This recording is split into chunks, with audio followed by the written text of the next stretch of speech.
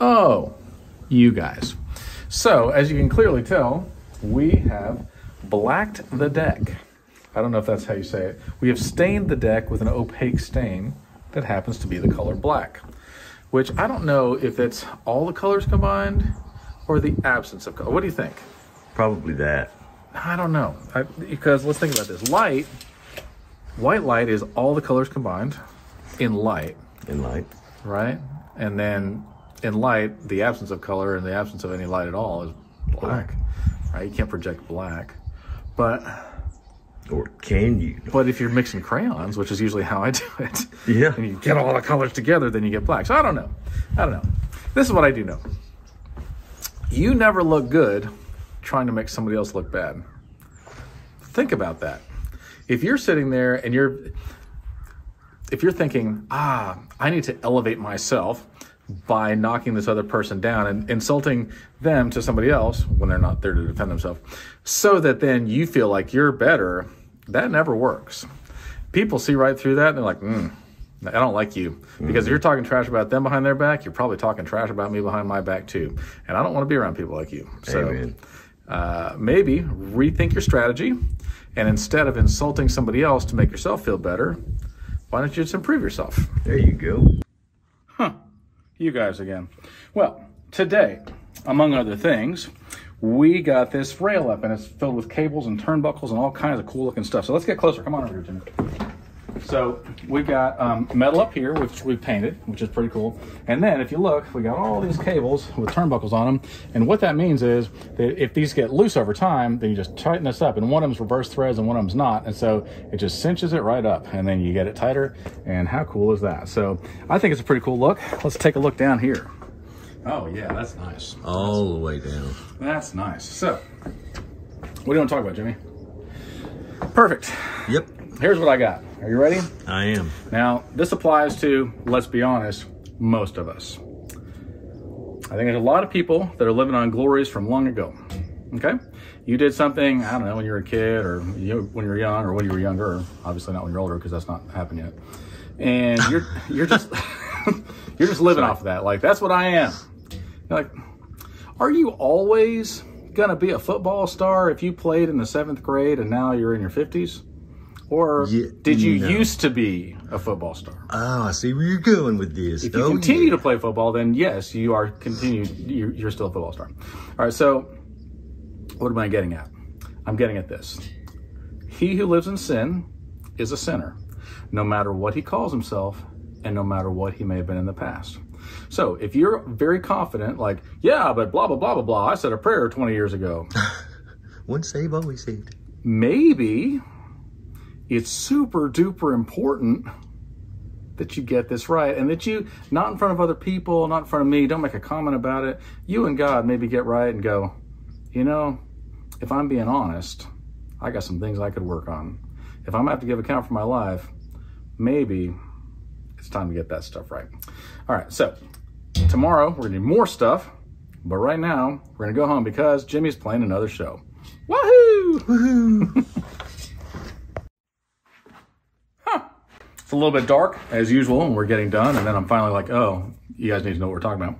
Um, but today, while I was working on the cable rail thing, which is pretty cool, and Jimmy was painting underneath this deck, which was painful. We had, I mean, I know it was because I was doing it yesterday. Um, it's just monotonous. Oh my goodness, it's monotonous. Uh, we had a crew, uh, Billy and Sharon Feaster's crew, uh, Be Fast Drywall, and they were in here hanging sheetrock upstairs and downstairs, and some in the garage too. And I think they're going to get it all hung by tomorrow, which is amazing. I don't understand how they do it, but they're just like zip, zip, zip, zip, zip, and cutting, cutting, cutting, and, and next thing you know, boom, it's beautiful. I'll show you tomorrow in the daylight how much better it looks, but it's really amazing. All right, now there's a lot of challenges on the internet. Tide Pod challenge where you eat a Tide Pod. That's a dumb, dumb thing. There are a lot of dumb things. I got a challenge for you guys on the internet. You ready for this? I want you to try not to get caught, but I want you to go and do something nice for somebody. What? Here's the important part try not to get caught by anybody. Don't tell anybody. Don't put it on social media. Don't tell your family. Don't tell your friends. Don't tell the person that you did it for. Just go and do something nice shh, and don't tell anybody. And then you can secretly watch and be like, ooh, they're happy. And then just don't tell them. You'll love it.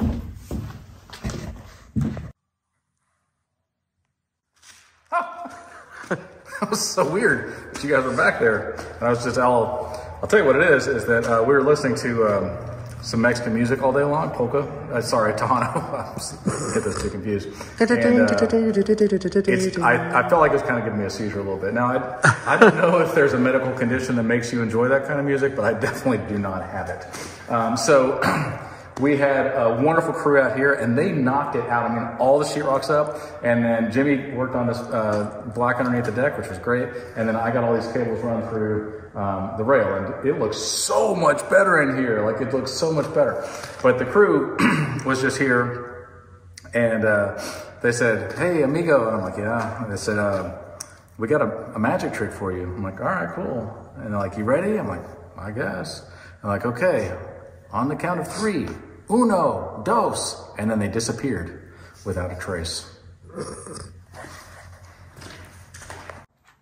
Hello. So, I want to brag on what Jimmy did today. Now, Jimmy has played how many shows this week? Four? Oh, five, twenty. Who, who even knows? That's a lot, right? So, poor guy, his fingers have got to be just so exhausted, but he's also been doing all this work and doing a great job. So, you see all this black under here? That's a lot of work, but it looks amazing. Well worth it. And Jimmy's been slaving away for probably months on that, maybe, Yeah. maybe less. But, uh, but wow, what a significant difference that makes. Now, a lot of you are probably glad that I'm a contractor, among other things, among the 52 other things I do. But when I was younger, and even still sometimes today, people are like, you know, you should be a doctor. And I'm like, oh, that's very flattering. I assume they mean because I'm smart and I could go to medical school and I would be able to retain big words that had 17 syllables and things like that, which I can do. But uh, I was shocked to find out that really what it was is they're like, you should be a doctor because your handwriting looks like a bird stepped in some ink and then tried to cover up its own poop on the paper. God, That kind of hurts my feelings. that's that's a feeling hurt. Yeah, no, I mean, I'm, I'm like, is my handwriting that bad? And they're like, John, yes. Like seriously, go back to handwriting school or whatever, first grade or whenever you learn that kind of stuff. So off I go to the first grade. See you guys later. so Jimmy, Sir, what's the first letter of yellow? the first letter of yellow is a Y. It's because I want to know. Why? Because I want to know. But why? All right. Uh, so the other day, it was dark when we showed you this, but uh, all the sheetrock got up, and then they came yesterday and worked on a Sunday, which I'm so grateful for, and got all the first coat of taping bed done, which is amazing. They're just so fast. It's like if you fast forward a video real quick, then that's how they do it. All right. So what you want to talk about, Jimmy? Oh, let's talk about mm, patience. Patience is a virtue. It is. I've heard. And um, also, isn't that a fruit of the spirit? What are the fruits of the spirit? Let me think. Love, joy, peace, patience, yeah, forbearance, Yep. long suffering, yeah, uh, and self control. And which is my favorite. yeah, it's it's definitely. I feel like a lot of people maybe lack self control, and they think that if they blame some condition, yeah, I got bipolar. then it's not my fault. Right. that it's somebody else's fault or they're just born this way and they have no choice, that then they can get away with acting badly, which I disagree with. I think that self control is a fruit of the spirit. Therefore, if you are living in the spirit, if you're living after God's own heart and obeying Him, then naturally you will grow self control. Word. At which point you won't be a glutton, you won't be an alcoholic, you won't be Slothy. a drug addict, you won't be, you know, addicted to all the things that people are addicted to. Um, and so it's important to control yourself because if you are left without boundaries, then you end up in trouble. Yes, like, you do. Imagine a river without boundaries. It's just water everywhere. It's a flood. It's a big, messy, muddy, ugh, right? Yuck. But if you're like, hey, you know, this this river goes across here. Every once in a while it floods out to here and then it goes back. Rather than just like there's water everywhere, we live in a swamp. That's not fun. We're not Florida. No, we're not Water Waterworld. That's Kevin Costner's. Yeah, that's Kevin Costner. That's his that's his gig. We don't want to steal that gig from him. No. So There is dry land. I've seen it. yeah, I'm on it right now. Oh yeah. Yeah, it's solid. It's a solid ride. So we were so excited. And you can also see the rail um, that we did on Saturday a little bit better now. Let's get closer to it because I feel like we haven't really shown this off. So what we did is we did all the metal Mike Fenster did all that, and we got all the steps and everything. These are temporary steps, but once we're done, you can tell why we put temporary on there because it's yucky. Um, and then we drilled through here and put all these eye bolts through, and then we strung the cable through everything, and then on that side over there, there's turnbuckles. So let's take a look. Yeah. Oh yeah, self-control. Lots of holes on all this, and then we end up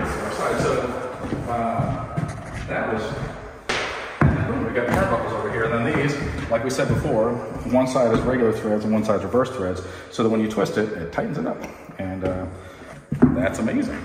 And I can't wait till we're into texture and paint, and then starting to finish stuff because that's just beautiful.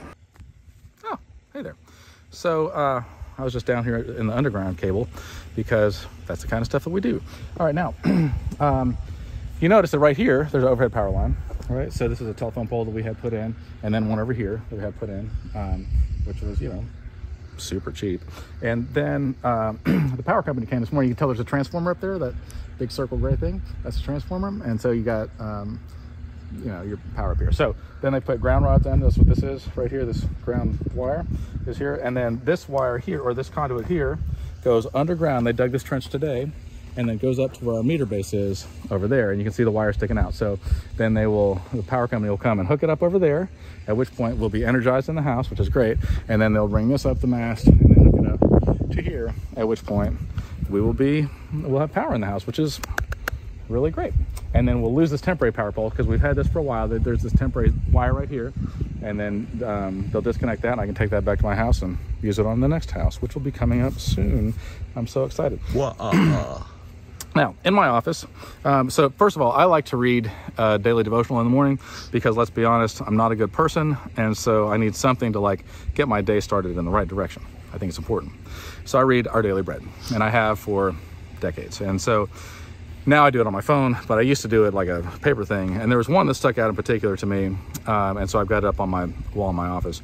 And it's about the discus thrower. Okay, so this guy, I think he was Scottish uh, back in the 1800s. He was like, I want to throw the discus in the Olympics and I want to win and like break the world record for discus throwing. And so he goes to the library. I'm sure you guys have heard of these, like back in the 1900s, people went to them and before. He found the exact dimensions of a discus. He made his discus to that exact dimension. He paced off in his on his property. This is how far it is for the world record. And he started to throw this discus every day, all the time, in all his free time, until finally he could hit that mark every single time or pass it. And he's like, now I'm ready to try out for the Olympics. So he shows up and they're like, sir, here's your discus to throw. And he picks it up like, what's this little light thing? I'm like, it's a discus, it's regulation. He's like, no, but I've been using this. Turns out, he did not realize that the discus they used was made out of wood with a very thin coat of steel on the outside of it, at which point it looked like it was steel. He made his out of solid steel, which was significantly heavier. Therefore, this dude is like, and it took him a long time to get to the point. He's like, man, these guys are tough. And he finally got it to hit past the mark every single time. Well, when they give him this light little frisbee, he's like, oh yeah, well watch this. And he throws it, you know, to the far side of the next mountain. At which point, nobody touches his record for decades. Um, and so, why is that important? Why is that significant? Because maybe your life is difficult. Maybe you look around and go, everybody else seems to be doing better than me. Maybe you're carrying a heavy weight that you don't know nobody else is carrying. And that's making you stronger. And then you have big muscles. And then you use those muscles. And then God's like, you know what? I got just the thing for you. I've kept you in the dark to some degree because this will make you stronger because I have something special for you to do. And you're going to be a champion. Right? So I keep that up in my uh, in my office as a reminder that even though maybe sometimes my life seems harder than what others would consider to be fair, then maybe there's a good reason for that. And God's making me strong. Um, in Ezekiel, it talks about, I'm sending you out to people that are stubborn and pig headed. He goes, I will make your head like flint. I will make it hard. You will like you will go into this people and they will not be able to overcome you because I am making you tough because it matters because I know what kind of people I'm sending you towards. And so maybe God's making you tough for some good reason. Oh, hey there. So, uh, welcome to yet another episode of Offensive Driving. It's the class I teach. Um, they have defensive driving already for people that I, don't know, I guess want to be defensive or whatever. But I got nothing to be defensive about. So I'm offensive because the best defense is a good offense. That's right. I don't know if that's accurate. Um, so a lot of people think that we just teleport to the job site every day and then back home, but it's not true. We have to drive. And I use this truck, and uh, I got an oil change last month, but then I realized I'm 2,500 miles over uh, due for my next oil change. So I just got one. I feel a lot better now. If you're anything like me, you probably think a lot, and um, one of the things try not to hit the work convoy. One of the things I like to think about is yet again is um, if somebody got several life sentences for whatever reason, does that mean they got a life paragraph? I don't I don't know. and like if they're like a mass murderer, you know, like is it a life book or a life chapter? Like is there a, a unit of measure that goes beyond just like one life sentence, which is pretty lame, you know? But like oh, I got a life book. And you're like, really? Like an encyclopedia? And you're like, no, man, like the whole Harry Potter series. I'm almost on part two of part seven of the Harry Potter series. Right. Like how many sentences makes a paragraph? Right, yeah. I, I don't even know how many sentences you would need to make an entire series of books like that. I feel like you would have to kill so many people or do a lot of bad, bad things. Don't do that. Don't let that be one of your life goals. No. I'll tell you what else you, you shouldn't let be a life goal. Driving badly. But let's just say that somebody is driving badly, like this guy in front of me who's got a quarter mile ahead of him that insists on being in a fast lane going five miles over. So once I pass him, you know, a lot of people would want to give him the finger, but I don't. I give him the thumb, the thumb of fury. That way he knows he really messed up. And if they're really bad, then I add in the smile of discontentment like this. Then they know I done screwed up. That's how they know. That's pretty much it. The end. All right. Hello there. Um, so, today we did some touch up stuff, but you may not know, if you remember, do you guys have memories still? Sure. Put on your thinking cap. Here, I got mine in my pocket. If, if that's what this little pocket here is for in your jeans. Oh, there. It's because it's tiny. It just rolls right up. Oh, okay. Yep. Looks I'm good, remembering, I'm remembering Snowmageddon last February, and now it's February 2022. And I think you know what's gonna happen. Another Snowmageddon. It's gonna happen. So, what do you guys need to do? This is your friendly reminder. Drip your pipes, cover up all your hose bibs outside. That's where you hook your hose to, and you turn that on. and then also open up your cabinet doors on any exterior walls. Why do you do that? Because heat escapes from your house, but with the cabinet door shut, less heat escapes into your house. And so underneath your sink is probably gonna freeze. And then you have a burst pipe and then that's expensive and troubling. Um, so don't do that.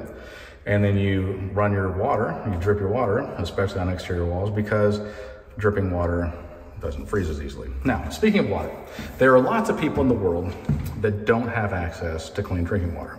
In fact, it is the number one killer in the world, far above the C word, Ovid. uh, so, like so far above. So I think it's close to, I'm going to misquote this, 20 or 30% of the world's population, it might be bigger, does not have access to clean drinking water. It, I think, I want to say it's like a billion, maybe more people. That's terrible. It is, it's horrible, right? And so Africa is a place that is hit hard by this, okay? Because you have to dig so deep to get water and so on. Uh, so if you want to dig a well in the Philippines, you dig like three feet down, you're like, oh, water, right? There's a lot of places like that, and it costs $300 and you make a well. And then the village drinks off of that water and you're fine. In sub-Saharan Africa, it's $20,000, $25,000 to dig a well. And so obviously they don't have that kind of money because they're making, if you're doing well, you might make 50 cents to a dollar. I'm trying to remember if it's a day or an hour. It's not much. I mean, it's like such a small number, right? So for them to get enough money to pay for something that we consider very basic takes, well, it's not doable. It's not realistic. So, as you might have known, there have been many people over the years that have gone and dug wells in Africa. And thank God for these people, because otherwise, the people in those villages have to walk four hours one way sometimes to get water and put it into a can that is dirty water and then carry it, usually on their heads, all the way back to their village. And then they're very sparing with it. So they usually don't bathe and wash their hands and you know it's unsanitary and there's disease and things like that but also just drinking water at all or cooking is very very difficult um, so when somebody comes and digs a well in a village then it changes the whole dynamic of the village now over time these wells may stop working okay here's what they do when the well stops working they just go back to walking four hours a day because they don't know how to fix it they don't have the tools and they're not you know, really prepared for this. So there's a group of people in my church that I'm very grateful for that have a calling on their life that say, we think the best way to get the most amount of water to the most amount of people for the least amount of money is to go and repair wells that are already existing in Africa. So they've already got um, a few villages that have wells that are, they're not working. Now, these wells cost one to five thousand dollars each to fix, and then an entire village will have access to clean drinking water. So um, they asked me to help out with that, and I'm happy to do so. And so, if you guys would like to be a part of that, either financially or otherwise, then let me know, and I will get you in touch with the right people because I think that that's the type of thing that changes somebody's life. To us, it's like, eh, yeah, I mean, here's a tip or whatever. You know, like you don't even notice it. It's just extra, right? You could have a little bit more. Or you could change somebody's life, and not just one person, but an entire village, or maybe multiple villages, or whatever. And I think that kind of stuff is a huge investment. And God says in the Bible that he who gives to the poor, listen this out, he who gives to the poor lends to the Lord, and he will repay him which means he's going to pay you back with interest in this life and in the next. Now, that's not why you do it. Okay, you do it because it's the right thing to do. But God's like, I see what you do. I own literally everything, and I'm to reward you for that. So, if you want to be a part of this, I'd love to. Um, we are going to go and do more work. Hello. If you're anything like me, you probably sit around wondering things like this Are there shadows on the sun? I don't know please comment because I have no idea. There's a lot of scientific stuff I do not understand. And according to the comments on my post, most of you are amazing scientists. So please tell me that one. Um, also, if all the people in the world, hear me out on this, held hands around the equator, I think a significant number of those people would probably drown. Jimmy, what do you think? More than half, yeah. Yeah, I think a large percent, probably seventy percent, just on average. It yeah. depends on details, but depends on how many of them stand on the edge. You'd have to stand on a lot of people because some of that stuff's kind of deepish. Um, so, it has occurred to me that there are people in the world that think two things that are both a misconception. One, I'm too bad to go to heaven. Two, I'm too good to go to hell. Both of these are a lie. Let me explain what I'm talking about. A lot of you think, if I walk into a church, I will be struck by lightning. If I walk into a church, God does not love me. I've done too much bad stuff. God can't forgive me for what I've done. You don't understand. You don't know my heart. You don't know what I've done. And God cannot and will not forgive me. And He does not love me. In fact, God probably hates my guts. That's a sad place to be. I've been there. That's a sad place to be. And I'll tell you, it is, it melts a heart of stone when you realize that God loves us so much that while we were yet sinners, He died for us. Before we did anything that mattered, He's like, I love you enough that when you are beating me and nailing me to a cross, I will still die for you. That's how much I love you. So if you think I have done too much bad stuff to come to God, stop thinking that because it's not true. God loves you. God loves people in prison. God loves alcoholics. God loves drug addicts and prostitutes and strippers. God loves people that watch porn. God loves people that are have been thieves. God loves people that have uh, murderers. Everything you can imagine.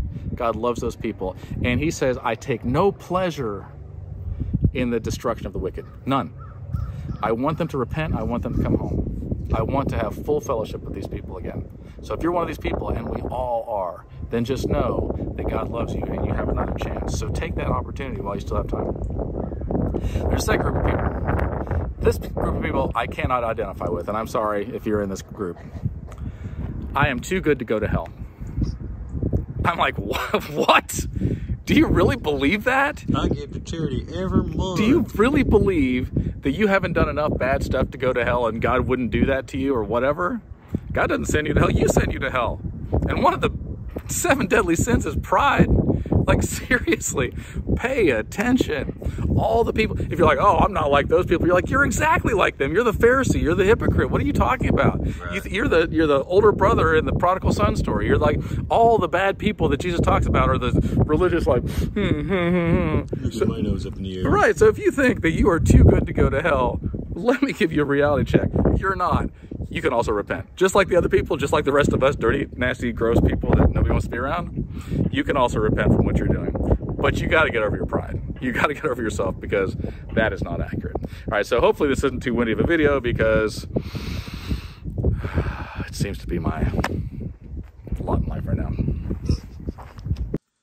All right. So I just want to tell you, I really hope that this snowstorm hurries up and passes because I can't get out of my house to get to the grocery store and I'm almost out of food. Look, that's all I got left is just this little bit of bread and peanut butter and then I guess I'm gonna die. But look, I'm willing to trade. I've got some popsicles and I've got some ice and I'm willing to trade with anybody who needs that during this snowpocalypse. So just keep that in mind. I'm starving to death. Apparently everybody thinks that I'm some broke bachelor that never cooks or whatever, but I got plenty of food at my house. I just make stuff up. So take a look. I'm just gonna show you my fridge. There's plenty of stuff in there. I got that V8 splash stuff. And look, there's part of another V8 splash. There's some water. you guys are so weird to think that I'm like that. Huh, you guys. So, um, we've survived another snowmageddon in Texas. It was the worst blizzard that we've had all year. We had almost a half inch, maybe three eighths of an inch of snow that then froze and then melted and then froze and then melted as it went away and the world stopped. Nobody's done anything because last year the power grid shut down and so everybody was afraid. But then you know what happened? Nothing. All right, so here's what's happened here since we've been gone. Also, nothing. we've been doing a whole lot of nothing. Um, a couple things I want to tell you. Number A is that you don't have to tell a giraffe to hold its head high. Think about that. And secondly, God has a lot of children, but he doesn't have any grandchildren. Now let's think about that for a minute. What does that mean? That means that you don't get to go to heaven on your parents' salvation or on somebody else's salvation. You don't get to say, I know this person and they're very spiritual or very godly or very Christian, therefore I am going with them by proxy. I'm going to grab their coattails and ride on in. No golden tickets. Incorrect, right? So, what is going to actually happen is you're going to stand before God and He's going to be like, What did you do? What is your decision? And you're like this. I uh, I know that person and they're a pretty good dude. And He's like, That's nice. What did you do? Right. So, think about that. Think about it real hard. Then go find a quiet place. Then repent and get right with God. Looks like our tapers are here. That makes me very happy. All right, bye.